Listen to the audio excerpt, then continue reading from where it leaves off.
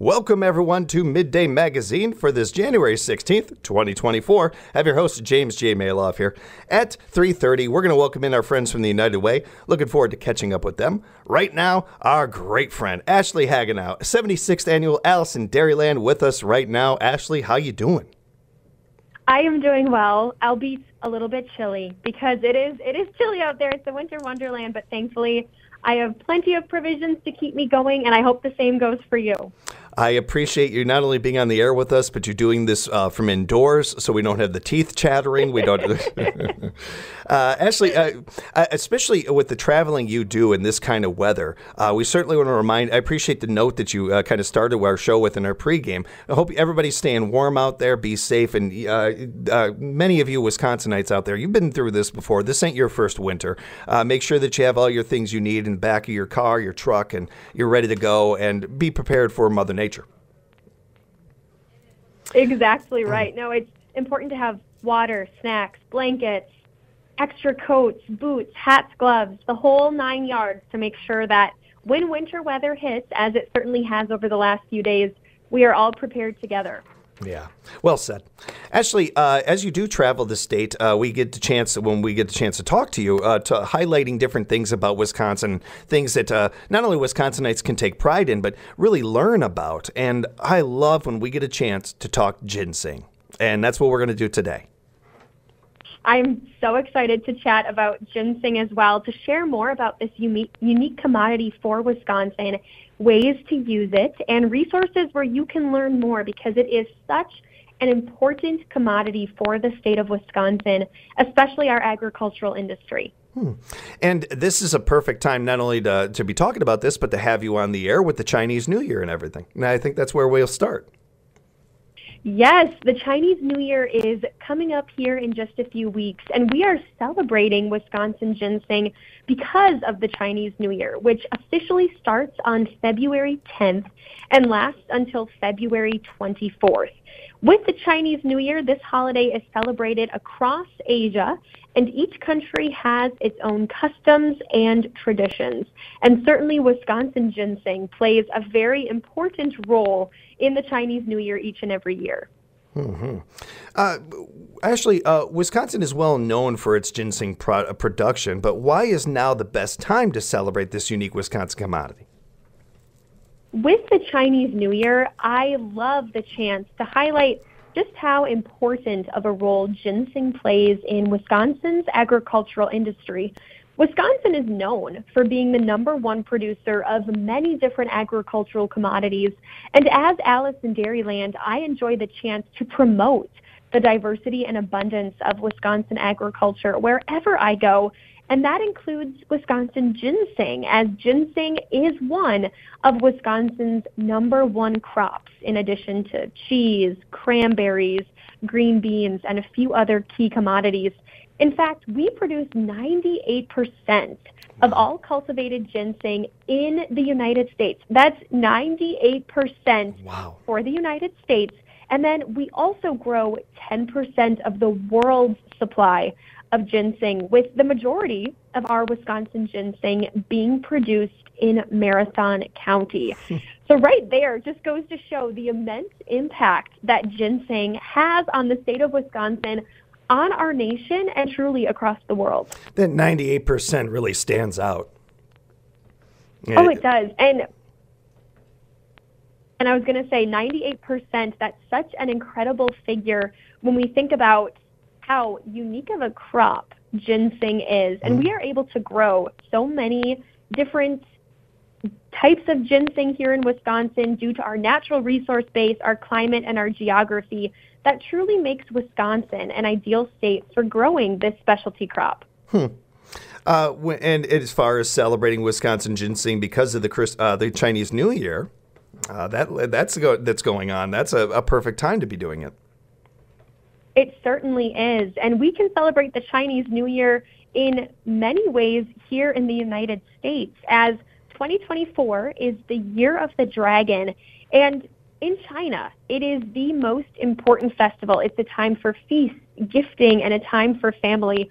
And I like to think we can celebrate that here close to home as well.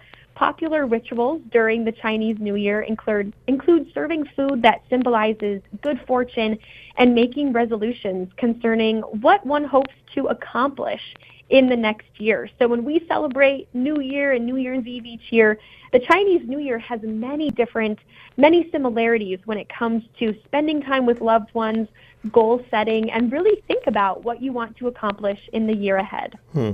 Well said. Uh, Ashley, have you ever gotten to see a, uh, a Chinese New Year celebration or parade?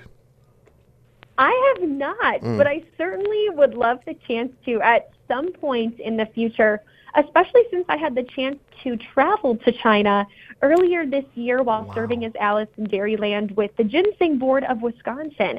So I had the chance to travel to Taiwan, mainland China, and also Hong Kong, promoting Wisconsin agriculture and promoting Wisconsin ginseng. So I would love to get back at some point and maybe during the Chinese New Year to witness those celebrations in person.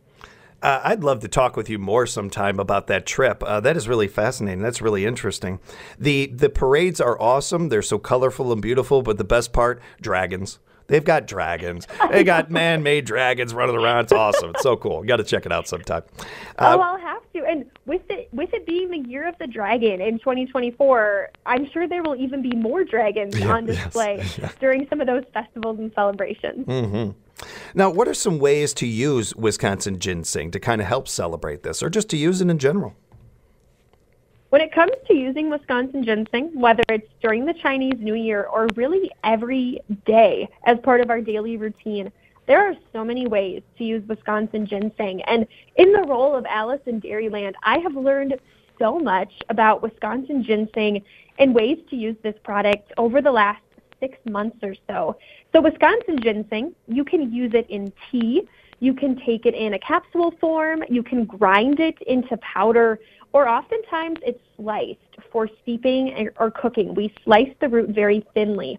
And those are just a few ways that we can use Wisconsin ginseng, especially when it comes to traditional Chinese medicine practices, as it is most commonly used in countries such as China, Korea, and Japan. And in Western cultures, we might use this as a dietary supplement or a botanical element. It's really, you can use this amazing product in so many ways. And I really enjoy learning more about different recipes that we can use Wisconsin ginseng in. And one of those recipes is for a cherry morning smoothie, which I absolutely love smoothies and all of the different flavors and ingredients that go into them. And you can use Wisconsin ginseng in smoothies as well. So the recipe that I have for a cherry morning smoothie, it uses bananas, spinach, coconut, vanilla extract, Greek yogurt, blueberries, cherries, and then you add in a little bit of Wisconsin ginseng powder. You blend all of these ingredients together, and then it's really ready to be enjoyed. It only takes about five or so minutes to put all of those ingredients together and enjoy a delicious smoothie in the form of a cherry morning smoothie that uses Wisconsin ginseng. Ooh, that sounds good. Man, that sounds. I got to try that. I have to try that. I, I. Uh, it is. It's really good. I'm, I cannot stress that enough. I have to try that. That sounds so good. And now I can make it myself. Thanks for the recipe. That's very cool. You are so welcome. Um, eh, eh, what about? Uh, it, eh, oh, and I do want to remind people they can find that and other recipes at realwisconsinginseng.com, realwisconsinginseng.com. Just get that out there one more time. Um, where can we go to find more information about Wisconsin ginseng and ways we can enjoy it?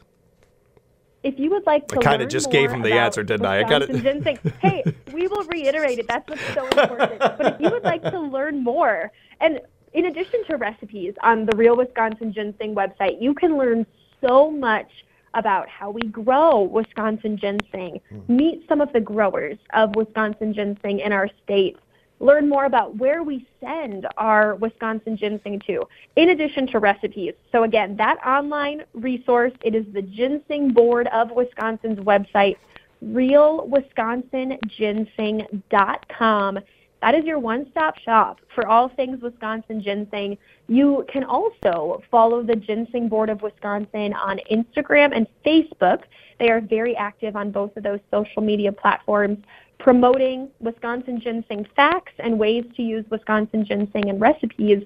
And also, while we are in the midst of our Alice in Dairyland campaign highlighting Wisconsin ginseng, you can go ahead and follow Alice in Dairyland on social media to continue increasing your knowledge about this very unique and very important specialty root crop for the state of Wisconsin. I really appreciate that information, Ashley. Uh, we, have got a little bit of time left, and I'd like to talk about some other things with you if you don't mind. Uh, you did have some additional information about the Chinese New Year that I thought was quite interesting. When it comes to the Chinese New Year, again, this is celebrated across Asia, and Wisconsin ginseng is definitely a central focus or a key role, a, a, key component of the Chinese New Year when it comes to celebrating each country's own traditions and customs. As we talked about, we both love dragons. 2024 is the year of the dragon to be celebrated during the Chinese New Year. And in China and other countries across Asia, it is one of the most important festivals to celebrate. We celebrate feasts and gift giving and a time for family, friends, and loved ones during the Chinese New Year. And it's a perfect time of year to get together and celebrate all that we are thankful for in the year that was just completed while also looking forward to the future and what resolutions we can maybe make when it comes to what we hope to accomplish in the next year. Hmm. So, again, the Chinese New Year celebrated across Asia it's a great time to celebrate Wisconsin ginseng as well, and a great way for us to get together with family, friends, and loved ones, especially in countries such as China, where it is most celebrated. Mm. Ginseng's such a, uh, a, a, universal thing and such a, a world known thing, but the the fact that it, it you know, to think of people in other countries uh, using our ginseng from here, uh, in that it's such a humbling feeling. It's such a it, you take a lot of pride in it, but it's also got a humbling feel to it as well. It does. And when I was in China and had the ability and the opportunity to meet consumers of Wisconsin ginseng, that for me was one of the most rewarding parts of the trip and also serving as Alice in Dairyland because it's not often that you get to meet consumers of a certain product that your state is known for halfway across the world. So having the chance to hear what everyone loves so much about Wisconsin ginseng. We are known for a very high quality product and a very bitter flavor that is well recognized all over the world. And having the chance to hear the stories of why consumers continue to purchase and use Wisconsin ginseng was very rewarding and in turn, our group with the Ginseng Board of Wisconsin that was traveling together, we had the amazing opportunity to tell the story of Wisconsin agriculture and Wisconsin ginseng, what makes our state so special for growing a product like ginseng. And it was such a rewarding experience. It's it's really smart on them too to have uh, you know people from the area be able to talk about it, be able to sell it. Nobody could nobody could talk about it. Nobody can promote it or or uh, give you the details that people from the area or people Wisconsinites could be able to give to that. That's very cool to hear. I I also wanted to mention too, because you, you brought up some great, wonderful points about ginseng. Um, there, there's so many key ingredients that are used in a lot of not only traditional Chinese medicine, but as we're we have adopted here in the West with a lot of it. One of the things that I've learned uh, from our friends at Family Natural Foods was ginseng's also not a bad snack. Like I like I like gnawing on, I like chewing on little bits of ginseng. It's, it helps boost your energy. It's good for the immune system.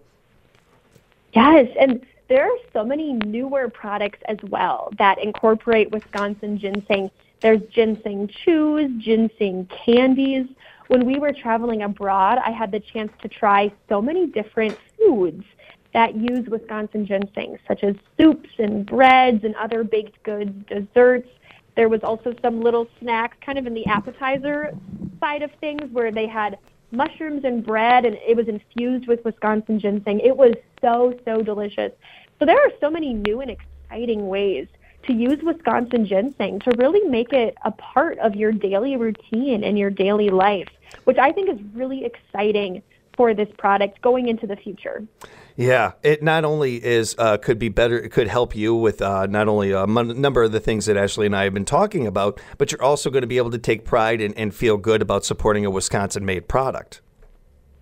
And that's really what it's all about. When you consume and purchase Wisconsin ginseng, you are helping to support our approximately 200 Wisconsin ginseng growers and support the local economy here in Wisconsin, especially when it comes to the agricultural industry. So it's a win win truly on all sides, in my opinion. Perfect. We're speaking with Ashley Hagenow at 76th Annual Alice in Dairyland, and as much as we don't like thinking about this too much, we will have to introduce the 77th eventually. Um, we we, we uh, love talking with you, Ashley, but eventually somebody's going to is going to have to wear that crown. Um, I wanted to talk about uh, people applying for it and give them kind of a rundown, a timeline of how to apply, and different notes that they may need to know about uh, qualifying for this and, uh, and that.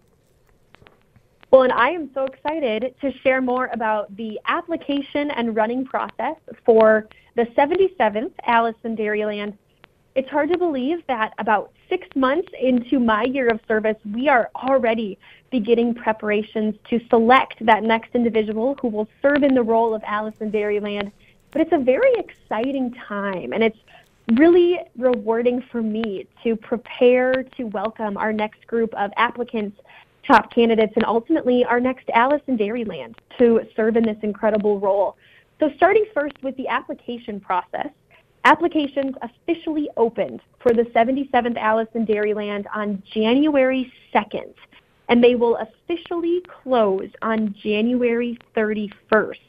So we are right in the middle of our application period with applications being open for the 77th Alice in Dairyland. And if you are someone who is a Wisconsin resident, is female, is at least 21 years of age, and has at least three years of experience in marketing, public relations, education, and communication on behalf of agriculture or even outside of the industry, then you will qualify to apply for the role of Alice in Dairyland. Hmm. So that's the initial process is the application. And again, they're open right now through January 31st. With uh, some of those, like uh, the experience with public speaking and, and, those, Ashley, when you came into this position, did you have a good body of experience with some of that, or was that one of those things that you were still learning? You're, you're so young, I imagine that it's something that uh, you're, you're learning as much as you have experience with.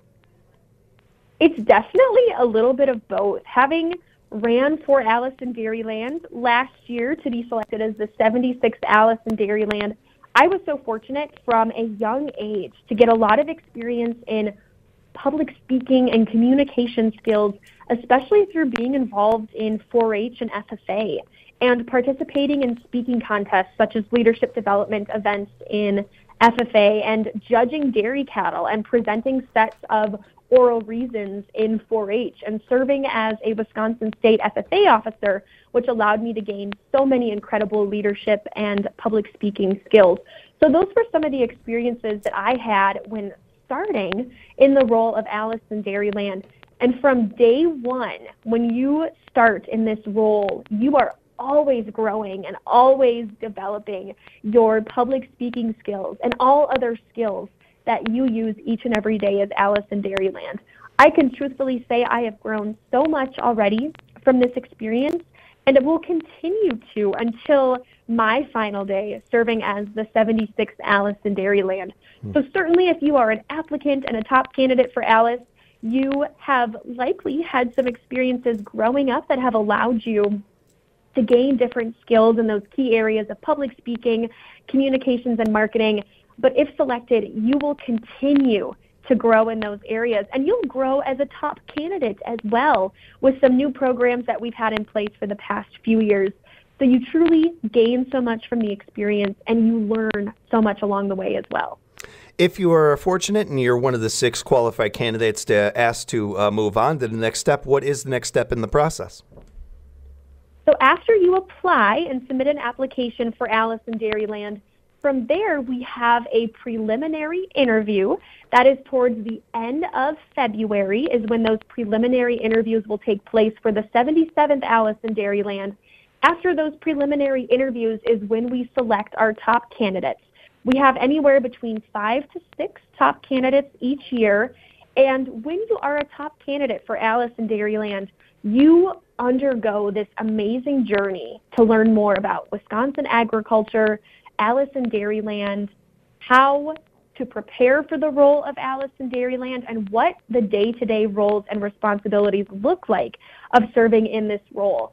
Once you are selected as a top candidate at the press briefing, which will take place the first weekend in March in Door County, that will then begin an eight week long journey where we have weekly trainings and top candidates complete weekly assignments leading up to the Alice in Dairyland finals. So if you are a top candidate, you gain so many skills in marketing and communications, and you actually earn a certificate now through the Department of Agriculture, Trade, and Consumer Protection here in Wisconsin as a result of going through that experience.